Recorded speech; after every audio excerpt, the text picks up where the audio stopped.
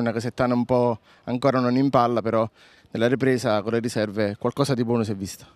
No, ma penso anche nel primo tempo. Nel primo tempo abbiamo, siccome domenica abbiamo questo problema del, dell'esterno a sinistra e dell'esterno destro, di conseguenza ho cercato di provare qualcosa per vedere qualche soluzione per domenica. Eh, siamo in fase sperimentale, lo sapevamo che potevamo, poi abbiamo incontrato una buona squadra, ci hanno messo eh, tanta grinda, tanta voglia perché, per fare bene, purtroppo le amichevoli sono, sono queste.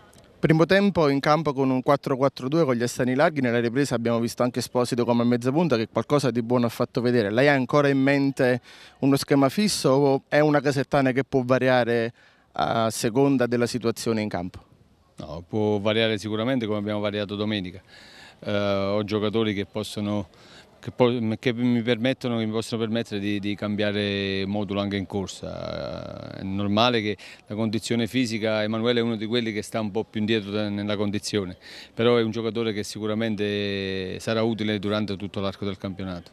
In difesa c'è ancora qualcosa da rivedere appunto perché si stanno alternando molti giovani perché la società è ancora alla ricerca di due terzini, in pratica eh, l'assetto è ben definito con il portiere terzini under e poi in mezzo al campo eh, sarà la domenica a decidere poi chi è il più in forma a scendere appunto nel rettangolo di gioco. Sì, è proprio questo diciamo, il, il gap maggiore che, che, dobbiamo, che, dobbiamo, colmare perché partendo la, con la partenza in ritardo alla fine con, con, prendendo giocatori bravi tu riesci a sopperire alla, alla, partenza in ritardo dal punto di vista fisico è lo stesso discorso con i giocatori bravi riesci, riesci a sopperire con la gestione della gara quello che poi diventa più difficile eh, è la, la, la, la, scelta degli under, perché purtroppo quando parti in ritardo diciamo che più o meno i migliori sono stati scelti, però noi non ci lamentiamo, abbiamo scelto degli ottimi under, bisogna lavorarci, è normale, perché sono, sono giovani che vengono da, da campionati di Beretti, di primavera,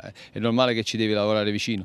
Eh, la piazza è importante, sentono anche loro la pressione della piazza e noi dobbiamo cercare di, di non fargliela sentire più di tanto. Oggi un amichevole, c'erano molti tifosi della Casertana che sono venuti qui a vedere la squadra. Domenica al primo impegno casalingo un appello ai tifosi e cosa si aspetta dalla città e poi dalla squadra domenica. Vabbè, una dimostrazione di quello che già l'hanno dato domenica accorrendo non so quanti erano, ma sicuramente più di 2000 in una partita di Coppa Italia in piena estate. Domenica la prima di campionato è il nostro vero obiettivo, eh, gli dico soltanto di starci vicino come, come stanno facendo fino a questo momento e come hanno sempre fatto, perché loro la Casertana, la Casertana, rappresenta Caserta, la Casertana è dei casertani, non, non è di Mare di Nolo né, né, né, della società né dei dirigenti, la, questi qua passano, eh, la Casertana resta. Perciò gli dico di, di starci vicino e di stare vicino a questa maglia.